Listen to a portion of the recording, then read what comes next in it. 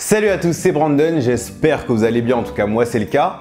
Et aujourd'hui je réponds à vos questions sur le Galaxy Note 10. Bon, apparemment vous avez bien kiffé le Q&A de la semaine dernière, ça ça fait plaisir. Et j'ai vu que vous aviez pas mal de questions sur les Galaxy Note 10 que j'ai pu prendre en main au siège de Samsung France. Du coup, en plus de la prise en main que j'ai sortie vendredi, bah, je me suis dit que peut-être il était temps de faire un petit Q&A pour vous faire plaisir, pour répondre aux questions, pour vous donner un maximum d'informations avant de les acheter. Et du coup, c'est ce que j'ai fait. Du coup, Teddy demande, tu penses qu'ils sont comestibles? Les mecs, on va pas faire le coup de la blague pourrie à chaque début de vidéo, hein? On va se calmer et poser des questions pertinentes, s'il vous plaît. Ça serait sympa, hein?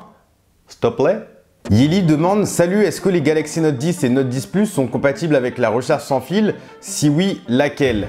Alors oui, les deux smartphones sont compatibles avec la charge sans fil, d'ailleurs la charge sans fil rapide de 12 watts pour le Note 10 et 20 watts pour le Note 10 Plus. Et en plus, ils ont la charge sans fil inversée qui permet de recharger un autre appareil compatible avec la charge sans fil, par exemple les Galaxy Buds ou encore un Galaxy S10 par exemple. Capstyle Photo demande la prise en main est-elle bonne comme sur un Galaxy S10 Alors la prise en main est excellente, voire même meilleure que celle du Galaxy S10, mais que pour le Note 10 classique. Le Note 10 Plus est un petit peu trop gros quand on le prend pour la première fois en main, et on sent que c'est pas un téléphone à utiliser à une main, même s'il y a l'interface de Samsung One UI qui aide vraiment beaucoup. Par contre, le Note 10, le petit Note 10, hein, celui que j'aime trop, bah, il est genre parfait dans les mains. Il est super fin, il est super léger, et l'écran et le dos qui sont incurvés font qu'il est vraiment très agréable dans les mains. Akaz demande du coup, Note 10 ou Note 10 Plus pour toi? Et tu nous conseilles quoi à nous? Car le Note 10 est bien moins cher mais il est moins bien équipé. J'ai pas passé assez de temps avec les deux smartphones pour donner une décision, mais en vrai, j'étais en mode euh,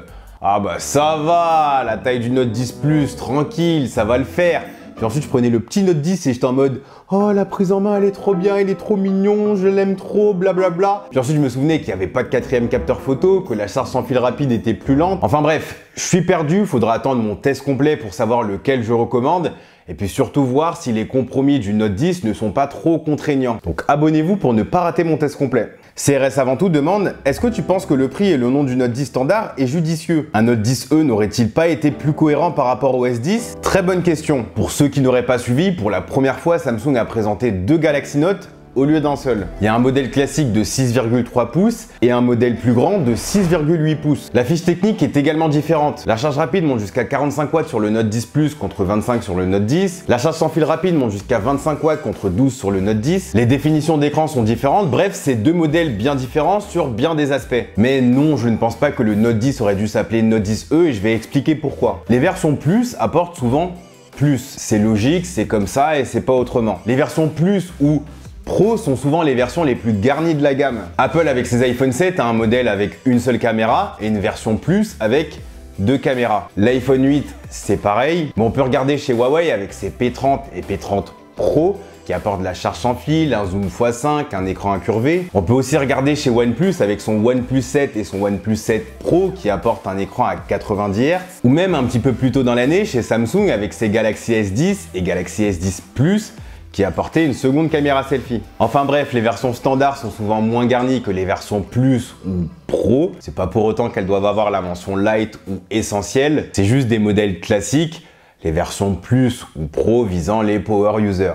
Ronax me dit, tu trouves pas que c'est un peu un retour en arrière de placer la caméra avant au centre? On dirait le retour de l'encoche et je trouve ça dommage. Alors, un retour en arrière, je dirais pas trop ça. Déjà, le trou pour la caméra selfie est vraiment plus petit que celui du S10 et c'est pas du tout dérangeant. Mais surtout, faut pas oublier que, note oblige, eh bien on utilise le S Pen et du coup une caméra dans un coin peut être très vite dérangeant. Par exemple, si on fait une capture d'écran sélective avec le stylet et qu'on passe sur l'écran, bah ça va toucher la caméra et ça c'est pas cool. C'est bête mais une caméra selfie bien au milieu permet d'avoir des selfies beaucoup plus symétriques puisque la caméra est juste en face du visage et pas décalée. Donc personnellement je trouve que le choix de mettre la caméra selfie au milieu, bah, c'est plutôt bien vu. Mohamed demande la reconnaissance faciale est-elle 3D alors non, malheureusement, chez Samsung, il n'y a toujours pas de reconnaissance faciale 3D à la manière de Face ID chez Apple. Le Galaxy Note 10 a une reconnaissance faciale en 2D basée sur la caméra selfie de 10 mégapixels, donc c'est pas du tout sécurisé. Durant mon test du Galaxy S10 Plus, j'avais montré qu'une simple vidéo YouTube de moi permettait de déverrouiller mon smartphone, donc faites vraiment attention à ça, cette reconnaissance faciale en 2D n'est pas du tout sécurisée, elle est juste pratique,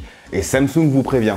Mathis demande, est-ce que l'écran du Note 10 est aussi agréable à l'œil que le Note 10 Plus sachant qu'il ne bénéficie pas de la Quad HD.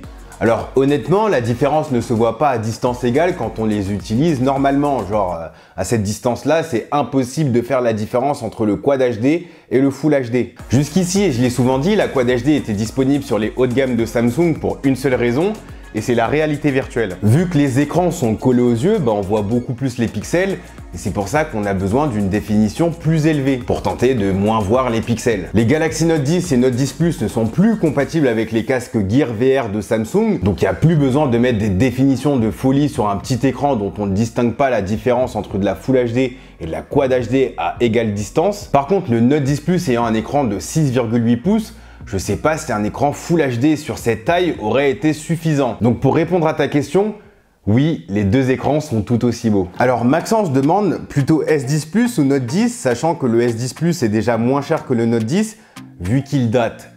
Alors ça, c'est une excellente question. On peut être amené à se poser ce type de questions quand on voit que le Galaxy S10 Plus peut se retrouver aux alentours de 750 euros aujourd'hui. Le Note 10 a un meilleur processeur et plus de stockage. Il a aussi une charge rapide plus rapide, passant de 15 watts à 25 watts. La charge sans fil est aussi plus rapide puisque ça passe de 7,5 watts à 12 watts. Et il y a quelques fonctionnalités en plus comme le mode portrait vidéo mais également les AR Doodle par exemple. Derrière le S10 Plus, il a une plus grosse batterie, le port jack, un port micro SD et puis un bouton dédié à Bixby. Mais ça, c'était pas un point positif. Enfin bref, comme toujours, tout ça dépendra de vos besoins. Si vous avez besoin d'une prise jack, bah, prenez le S10 Plus et si vous préférez le S Pen, prenez le Galaxy Note 10. Dans tous les cas, c'est du Samsung, suffit d'attendre quelques semaines pour voir les prix baisser et là, bah, le gap qui sépare les deux en termes de prix, eh ben, se réduira tout simplement.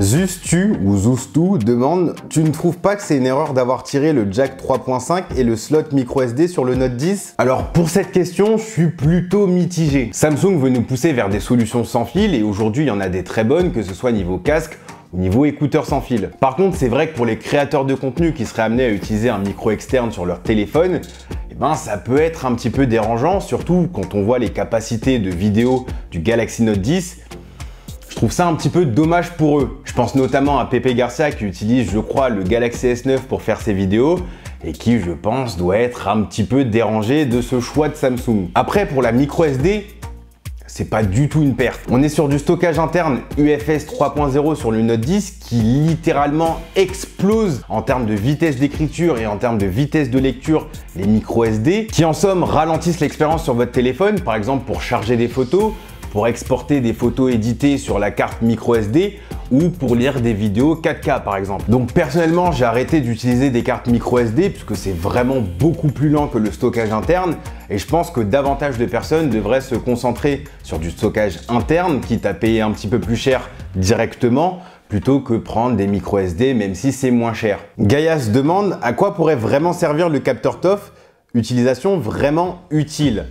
Alors, le capteur Time of Flight ou temps de vol en français permettra d'avoir une meilleure estimation entre le sujet principal et l'arrière-plan pour le mode portrait photo et vidéo, mais aussi d'avoir davantage d'efficacité pour des activités en réalité augmentée. Dans l'application caméra, Samsung intègre un outil de mesure en réalité augmentée, mais ils ont également fait une démonstration sur scène montrant la captation d'objets réels en 3D qu'on pourra ensuite animer en temps réel avec nos propres mouvements. Après, est-ce que c'est indispensable ou non? Ça dépendra évidemment des besoins de chacun. Djibril demande quelle note sur 10 lui donnerais-tu? Alors, c'est un très bon jeu de mots, jeu de mots auquel je répondrai dans mon test complet. D'ailleurs, c'est maintenant que je vous invite à vous abonner pour ne pas le rater, de me dire dans les commentaires si vous avez aimé cette vidéo et puis surtout de la partager auprès de vos proches pour qu'il n'ait plus de questions sur le Note 10. Et moi, je vous dis à la prochaine. Prenez soin de vous. Peace.